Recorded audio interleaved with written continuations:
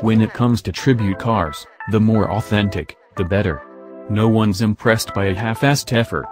Ford, whether it really intended to or not, has built a startlingly credible tribute. The 2019 Ford Mustang Bullitt is exactly the car you'd build for an ill-conceived Bullitt remake starring Channing Tatum. It starts skin deep. The look is bang on, all hunter green and black wheels and cue ball shifter.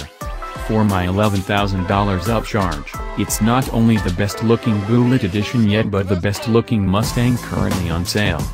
The body is clean, no wing or badges save the massive bullseye on the trunk, which I would have shrunk or skipped. Like the movie car, it's understated, and those in the know will recognize it for what it is.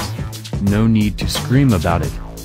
The engine does all the screaming you'll need, anyhow. Fitted with a multi-mode exhaust system finished in four black tips, it sounds all the world like Frank Bullitt's car when you open it up. It makes you want to run up through the gears at every opportunity, moderately hard acceleration and slow shifts, just like in the chase scene.